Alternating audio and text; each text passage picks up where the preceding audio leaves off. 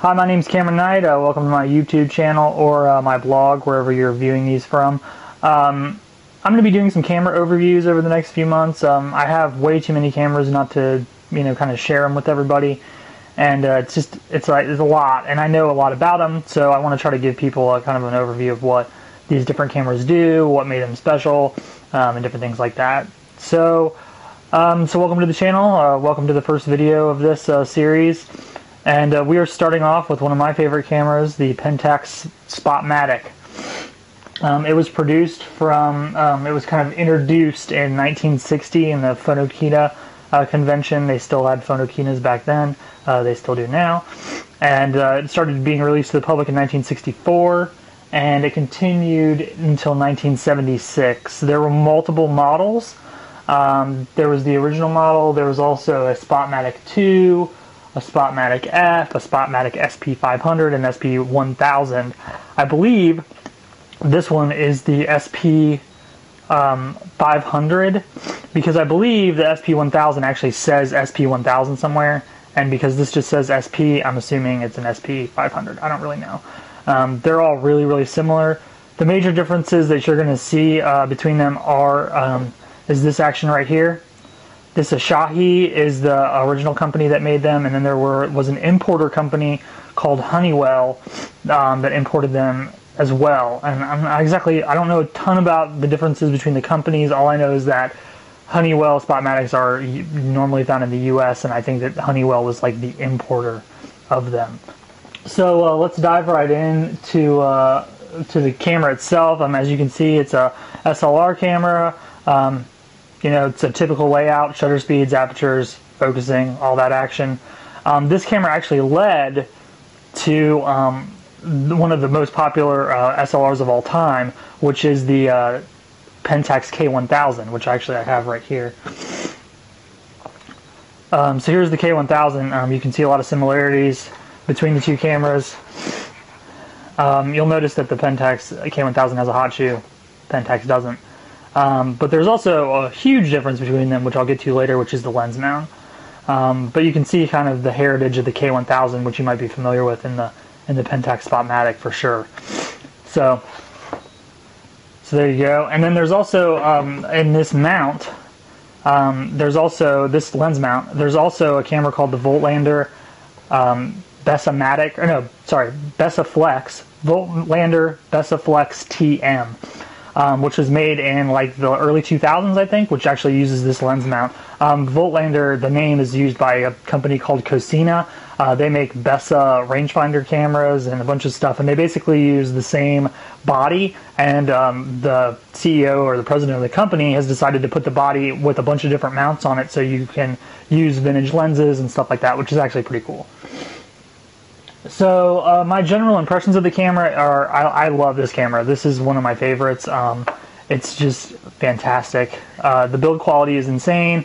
Uh, the focusing, despite me not not having my favorite focusing system, um, I still managed to hit with it a lot. There are a ton of lenses to it, uh, again, which we'll get to when we talk about the mount. And uh, it's just a generally a great camera. The uh, the viewfinder, um, which you can see Let's see if we can get a good view of it here. You can see the metering system on the side there. So you can check that out. And then there's a, a micro prism uh, patch in the middle. Um, actually, it's like a donut in the middle with like kind of a extra circle kind of thing. Um, it's kind of hard to explain, um, but it's basically just a micro prism kind of or, or super matte finish um, kind of focusing screen. Uh, the viewfinder is really pretty good. Um, it's an old camera. I mean, it was designed a long time ago. This is before the Nikon F. This was, I mean, this is like old. So actually, I don't know if it was before the Nikon F, but it's old. Um, this actual camera was, uh, and, I, and I mentioned before too that there's no hot shoe, so it's important to remember that. Um, there is a PC sync down here, so you can do flashes with it, but there's no hot shoe. I believe that there is an adapter you can buy. I have actually never seen one in person but you can see that there are two notches down the sides. Um, and the notches there, you can actually slide on a little adapter thing that goes over the top here, and you can mount a, a cold shoe kind of flash to it. But um, I've never actually seen one of those in person. So um, the story behind this camera, I was actually given this camera by my uh, my step grandpa. Um, his name's Donovan. He worked for Los Alamos Labs in New Mexico for a long time, and I believe that they kind of issued this to him um, to use for for whatever. And uh, he sent it to me with this uh, Super Takumar lens on it, um, and I've kind of built it into a kit. Um, when I first started working for newspapers um, in around 2005, I wanted to. Um, digital had already taken over by then, and I wanted to do a story because um, I was working with all these old timers, right? You know, these old guys who, you know, they look at me, they're like, "You don't even know what it's like to run film. You don't know any of this crap," and and I did. I knew all of it, so I wanted to kind of prove to them that I knew what I was doing, and I love using film. So I actually shot a, a award-winning photo story with this exact camera and the kit I built around it. Um, and it's called Leanna's Voice, and you can see it on my website here. But um, so it has a kind of a special place for me. Um, you know, I shot that photo assignment with it. It's kind of a family heirloom too, um, and it's just a, it's just a really really nice camera. So um, that's kind of the story behind how I got this and what I've used it for. Um, I've also, you know, I've shot I shoot with it just occasionally now, especially since I have a whole kit built around it. so yeah, it's just kind of where it came from for me.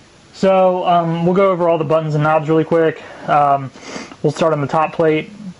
You have a uh, normal rewind kind of a knob here. Um, it's the basic style where you lift it up and then you can pull it and it pops open the back. Um, you can see under here um, it has some different kinds of film. This doesn't affect anything that the camera does. It's just a way to remind you what kind of film you have in the camera. So if we head over here, you can see that there's a shutter speed dial. Again, the outer ring, if you lift it and move it, you can change the ISOs. That's how you change the ISO for the meter. And uh, you see the little black um, symbol over here that marks what shutter speed you're on. So it's pretty nice. Um, you have a normal kind of uh, shutter release here. It takes a normal threaded uh, cable releases if that's what you want to use. It's actually a really, really nice shutter. Um, it doesn't take a lot to fire it. It's not really mushy or anything. It's just a really nice um, shutter. Um, as you saw just then, it's a normal kind of uh, um, lever cocking kind of shutter and film advance. So there's that, and then there's a film counter up here, um, which keeps track of how many frames you've used and not how many frames are left. Uh, so we go down here to the bottom. You have a battery here. Um, I want to talk about the battery for a second a lot of these older cameras use uh, originally used mercury batteries, um, which were 1.3 volt. Um, most batteries today are um, 1.5 volt. You can buy zinc air batteries, which are 1.3 volt, and they will work in the cameras, but they have a really short life. And they also, um, you can also buy like adapters from different companies that step down the voltage from a 1.5 battery to a 1.3 battery. Um, and you can also go to a company called, I think it's called Wein, W E I N, that makes adapters and different battery things for um, the, these, but they're really expensive. Um, for a lot of cameras, it's necessary to buy an adapter or figure out a way to get the voltage right, or the meter won't work right. Um, with this camera, um, surprisingly, has what's called bridged electronics. And I don't know too much about electronics. I don't exactly know what that means, but I do know what it mean what it means for the battery. And you can use 1.5 volt batteries in this camera um, as long as they fit and they work correctly. The extra voltage, I mean, I guess it might damage the camera, but I don't. I've been using this for a long time and it's never damaged it for me. So the thing with it is, is that you just throw a 1.5 volt in here that works, and it just, I guess the, the electronic system in the camera just dumps the extra voltage. I've been using 1.5 volts in this and I get good exposures and all that stuff. Um, but regardless, even if you um, can't find the battery that fits or whatever, um, you can just use the camera manually. The, the shutter, the uh, the shutter and the apertures and all that stuff. That's all um, mechanically operated, so it doesn't need batteries. It's just for the meter. So uh, the uh, you got a thread, a normal thread mount, a tripod mount here, and you've also got the film rewind button. You have to push this in before you start rewinding the film. And that's about it for the bottom plate. So if we look around the front here, again, self timer, kind of a normal pull it down, push it, and it and moves up like a wind up toy. You have the two um, PC syncs, which I mentioned here. Um, I'm not exactly sure why it has two of them, but they're the same thing. They're not two different types of mounts. They're the same thing. So that's kind of weird. Um, but kind of cool if you wanted to like run two flashes on wires or something. And then you have a button right here called SW. I have no freaking clue what SW stands for, but what I do know is that this but this switch turns the metering system on. Um, and the metering system is called a stop-down metering system, um, which I'll talk about later in the video. Um, but this actually, like, if you're pointing this camera around and everything, this meter is not on. But if you push this button up, it kind of stays up and my meter's on now. And then if I take a picture, it puts it back down. So I'll talk about the stop-down metering system later on, but that's to turn the meter on. That's what that button's for. So now we'll move on to um, the mount. Um, this is kind of cool to talk about. Um, this type of mount is called Pentax screw mount, or the more common name for it is M42. Um, you might have heard of M39. That's the Leica thread mount um, type of lenses. This is an M42. So not only um, there were a lot of cameras mounted in M42 um, from all different kinds of companies. Um, the most kind of the second most popular is probably probably Praktica. Um, I'm not exactly sure where they're from, probably Germany or something. Um, but the lenses for Praktica don't work too well with these cameras, and vice versa. So um, they're not super interchangeable, but most M42 lenses work well with Pentax. so as I said, it's a screw mount lens. So what that means is you just unscrew it and it comes off. You can see the threads here. You can see the threads here. Um, you can see that this is a the only like interface between the lens and the um, and the camera is this right here, which is the stop down. It's for the metering system and to know you know the aperture and all that stuff, which is kind of cool. So that's the only interface, and it's a screw. Um, you can buy lenses. These are Takumar lenses. There's a normal uh, Takumar lenses, and then there's these super Takumars. And actually, I think there's super Takumars and then there's super multi-coated Takumars or something like that. So SMC and then just super. Um, this is a 51.4. It's kind of cool. Um, I have a bunch of different lenses for this, or not a bunch, but a few different lenses for this. Um, but the M42 mount is super common. You can actually buy Zeiss lenses that use the mount. There's just all kinds of different great lenses that you can use for this. Voigtlander makes some. There's just, I mean, there's some amazing glass you can get for this. Now I want to talk about my lenses and my kit. So you can see I have the 50 here, which is kind of cool. Um, it's a great lens. It's a 1.4. It's sharp. It's uh, the only thing that I've noticed with it is that there's some color fringing um, when you shoot color film with it. I mostly shoot black and white film with it, so I don't really care. But um, the color fringing can be kind of dramatic, um, which is cool if you want it to be like a, you know, if you're, you're looking for a kind of vintage effect. The other lens I have, well, this isn't actually a lens. This is a uh, 2x converter for my 50 so I can turn it into a 100. This is an aperture converter kind of. Uh, but basically you can see here that this uh, red arrow here tells you what your uh, app, you set this to what your aperture that you're using is. So you say I'm using 5.6 and then it converts it down here in this little window. Um, it's basically two stops. So it says F11 in the, in the window here. So F8 at F4, F28 turns it into 5.6. So you basically lose two stops with this converter. Um, the reason I decided to go with the converter instead of just buying a, a telephoto lens was that I just was cheap at the time, didn't have a lot of money. So, and I said, hey, uh, that's a 1.4 lens, and uh, turns it into a 100 2.8 lens. So I'll take that. That's pretty sweet, right? So 102.8, and um, it doesn't seem to affect the quality of the image a lot. Like it doesn't introduce a lot of uh, distortion or anything like that. So um, kind of cool. So again, thread mount kind of body cap here, and uh, there you go. That's what that looks like. And you can see that these pins kind of shake through. Let me find that pin really quick. See, there's the pin right there. That's what contacts the uh, plate I showed you in the camera. You've got that plate in the bottom here and that pin contacts that. Um, you can see here too that the pin on the lenses is spring loaded, um, but the pin in the converters is just loose because the springs in the lens kind of keep it doing what it's supposed to do. Um, so there's that. That's my uh, normal and telephoto mode. And then my favorite wide angle lens is a 24 millimeter. And I found this super wacky Sigma 24 millimeter lens for this camera. So you unscrew it here, um, I don't know why this is like a deep cap or whatever, but kind of cool. Um, got a lens cap. It's just a slip-on lens cap. And here we go. This is a 24-28 made by Sigma. And you can see the crazy thing is this. So it's Sigma XQ lens, I guess. And then it says Filtermatic multi-coated. Multi-coated is just the lens treatment that they give it. Um, it's not a big deal. Most lenses have multi-coating these days. Um, but you can see that I have my apertures here, my focusing here. It's a uh, sticky at infinity a lot of times.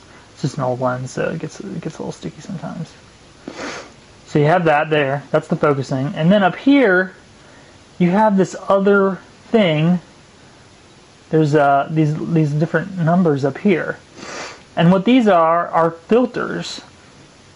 So there's like I think three or four different filters that go onto this lens. So you have this uh, that's the blue filter, blue. That's the orange filter, orange. This is the yellow filter, yellow. And then you have a skylight filter or whatever, which is basically clear, like a haze filter. Um, just really kind of a cool system. If you're shooting black and white and you know how to use filters and you like using filters with your black and white, um, you can't really get a more handy kind of lens than this. It's just super funky and weird, and I've really never seen any lenses that have this kind of functionality on them. Um, it looks cool. It's kind of chunky in the front, but it's not super deep, so it looks really cool on the camera. And uh, the only thing I've noticed with this lens that I have I haven't verified exactly, but it seems to not get all the way to infinity. Um, with an SLR camera, that means if I'm trying to shoot something at infinity, I'm going to not be able to focus on it. But every other range inside of infinity is fine. It's just going to not match up with the dial exactly. Um, I haven't confirmed this, but I noticed this um, when I was shooting my photo story with this camera and shooting it like every day. I never noticed that, but when I looked at it a few days ago, um, I just kind of saw that it that it didn't seem to focus at infinity. So I'm gonna have to check that out and look into that further. Um, the way to get it to focus at infinity it means that it's too far away from the lens, so there might not be any way to get it to focus, or I might have to like um, file this down. I don't really know what I'll have to do. Um, it might just be something that I'm gonna have to live with, or buy a different 24 for it for doing landscapes and stuff like that. Um, but the Filtermatic thing, just I mean, this is an example of the wacky, weird, and the variety of lenses that you can get for the camera. It's just super, super cool lens. Um, so that's the lenses. That's my kit for the camera that I shot my story with and shot some other stuff with. So now, oh, I want to mention one more thing.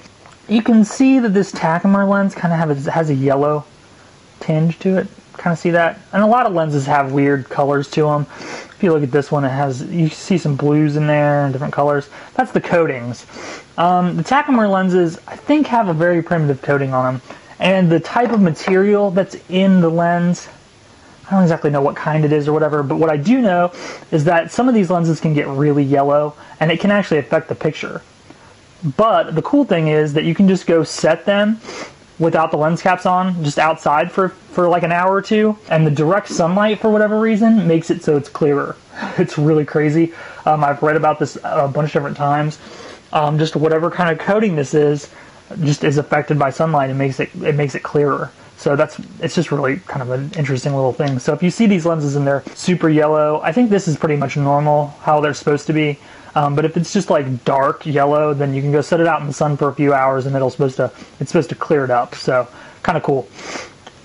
So now um, I want to talk about the stop-down metering system, which is kind of hard to explain. So let me get some of this stuff cleaned up really quick. I'll move on.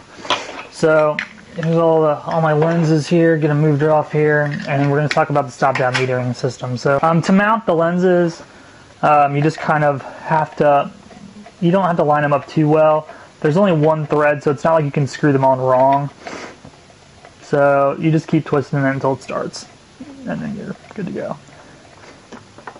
So, so now we're going to talk about the stop-down metering system. So we're we're going to cock the camera, get it ready for action, and then we're going to meter as if it's the first shot in the situation that we have. So we are going to uh, pop this up and now what this does is it not only activates the meter, but it also activates the aperture in the lens. So if you see here, it gets darker and lighter.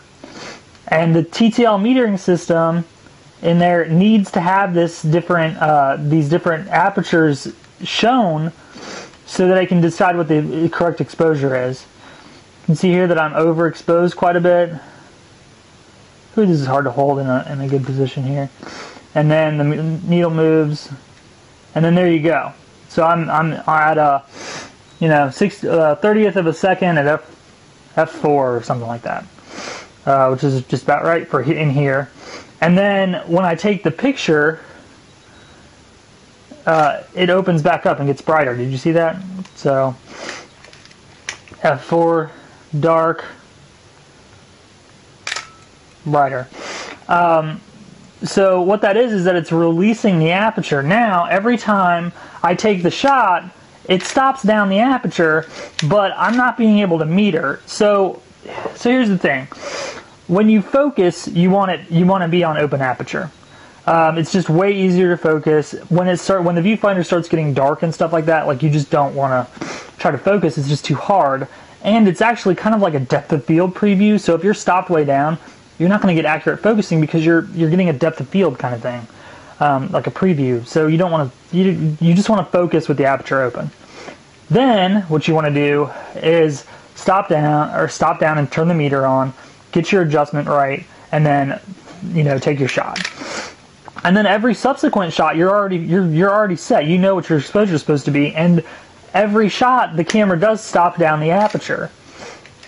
So does that make sense for everybody? I don't know if I'm explaining it very well, but it's a stop down metering system. To meter, you just do it once. Now, if you're going in between a bunch of different lighting scenarios and stuff, it's going to be really hard um, to have to screw with this every time. But in most of the situations I experienced when I was shoot, when I've been shooting with it, you walk in, the lighting is going to be the same for at least 10 or 15 minutes. You meter once and then you just shoot. And then when you change situations, move to a different room, go outside, you meter again and try and, and you know to go from there. You just go one at a time. So um, so that's kind of how the metering system works. It's really really weird. Um, this uh, switch on the side of the lens here is the uh, it says auto and then it says manual. This is for the open aperture metering. Um, the manual means that you're you know you're opening it up to focus and then you're just shutting it down. And then the uh, auto means that it's going to do it automatically. Like i said like every time you you do it it's going to it's going to go close the aperture down and, and all that so. And then open it back up when you're done. So you know it closes it down then it opens it back up to 1.4 so i can focus again. Closes it down to f4 opens it back up every time for the shot. So i hope that makes sense. It's kind of hard to explain. Um, but you can do a little bit more research on stop down metering systems in uh, you know, in your own research or whatever like that. The thing about it is, uh, the, the funny thing about it is, is that um, the new camera that I talked about, that Voigtlander TM, which is extremely hard to find, um, they don't make it anymore, but they made it for about a year. Um, that camera has stop down metering too, because these lenses are set up for that. They're not set up for um, open aperture metering, which the K1000 has and every other modern SLR has really. So it's kind of kind of interesting. So now I'm just going to give you a run through of the uh, of the of how we would how we would take a picture with this. Um, so we're going to open this up, boom, and then you have the back open. You're going to run your film across. It's just a normal. You slip the leader in here and pull it across here and give it a wind or two to make sure that it's you know working right. And then you close it up. Um, what I do with all my film cameras is then I I close this down and I wind this until it's tight. Um, that means that there's not any slack in the in the canister or anything like that. And then when I advance it again, this will turn, and I'll know that my film is advancing correctly. Um, so you advance it to zero, and uh, then you're good to go. So what we do is we would cock it, turn the metering system on, uh, get our shutter speed and our aperture how we want it and then you can actually turn the metering system off at that point if you want to, just by pushing this down. Um, focus, take the picture, take the picture, take the picture, uh, and then you want to change situations for lighting, you meter again. Um, you know, maybe it's outside now. And then focus, fired off. Um, I don't know if you're actually hearing the shutter. I'll move it just closer to my mic there for a second. It's uh, it's relatively quiet. Um, I don't know if it's just my sample or if it's um, just a Spotmatic thing, um, but you can listen to it. It has kind of a, a bounce at the end or a spring sound at the end. Um, it might be something wrong is wrong with my camera, but not wrong enough to make it hard to use or whatever. But um, I don't know. It's just kind of a weird sounding shutter, but it's relatively quiet. So um, I'm super happy with the camera. Um, if you get a chance to pick one of these up, the lenses for them are really, really cheap. Um, these Takumars are just, and the, and the SMC, the super multi-coated Takumars, are even better than these. Um, but these are really sharp lenses and really nice, um, made to really exacting standards. Um, the camera itself, I'm guessing this is stainless steel or chromed or something, uh, metal, but it's really, really, really nice metal. Um, it's pretty scratch resistant. I mean, you may have seen on the bottom here that I have a few um, surface scratches and stuff here.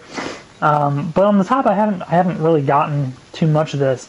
Um, I'm not sure exactly what the engraving is done in, if it's you know if it's painted in there or whatever. But um, mine looks great. All the ones I've seen have, have really nice engraving, um, not worn off or anything. it's just an all-around really really wonderful camera. I just cannot complain. And the, the fact that you can get uh, Jena Carl Zeiss lenses for it just really makes it kind of awesome. Um, those are really, really cool lenses. Um, so yeah, so and there's also um, adapters to use these lenses on other types of cameras. Um, so even if you're uh, if you're a Sony Nex fan or um, a four thirds camera fan and you want to check out some of these lenses, they're really, really nice. Um, and because see how deep this camera is, I mean that's crazy deep. Um, deep cameras, uh, the lenses adapt better to other systems. So you can buy, uh, you know, Sony to M42 adapters or um, whatever kind of 4 thirds camera you're using um, to use these lenses, and they are pretty awesome. Pretty awesome, especially the. Uh, I love this uh, 1.4 is great, but this funky, funky 24 millimeter, like, they just don't make stuff like this anymore. It's just so cool. So um, I'm going to sign off for now. Um, I'll be back probably in a week or maybe two weeks to do another camera review or camera overview, let me say. Um, I have a lot of different cameras, guys, so if uh, you have any suggestions, leave them in the comments. Um, I love, um, I have a lot of 80s point and shoots. I have a lot of 70s kind of fixed lens rangefinders. I have a few Russian rangefinders. Um, I've gotten a, some Nikon gear. I've just got so much film crap that you don't even know. So um, if you have any suggestions for cameras, um, if I have it and you suggest it, then I'll review it. So or overview it next week. So I hope you enjoyed it. If you have one of these cameras, um, I hope this maybe gave you some insights on some of the quirks about the battery or the lens or um, whatever. And uh, I'll finish with the uh, little bit of information that I found out online today. Um, I, I want to make these mostly like my knowledge, but I did learn today that this uh, was originally introduced. It's called the Spotmatic because it was supposed to have a spot meter inside, um, a little dot in the viewfinder. So pretend this is your viewfinder, like your your frame here. There's going to be a little dot, and there's going to be some like way to move it around to wherever you want the spot to be. Um, it's really funky system. Um, but what they ended up doing, they decided it was way too uh, complex to use and they just decided to go with an average kind of system for the metering. But um, that's where its namesake comes from, the Spotmatic, and at the 1960 Photokina, comp, you know, um, you know, whatever big conference. Um, that's the system that they had in place for these Spotmatic cameras. So kind of cool. And uh, I've noticed that with mine, this SP probably 500. I don't really know. Um, it's a pretty um, center weighted system. Um, at least that's what I've noticed. So. Um, so again, if you get a chance to pick up one of these cameras, do it. Um, the Honeywell versions are um, probably more expensive. There's black versions instead of the chrome.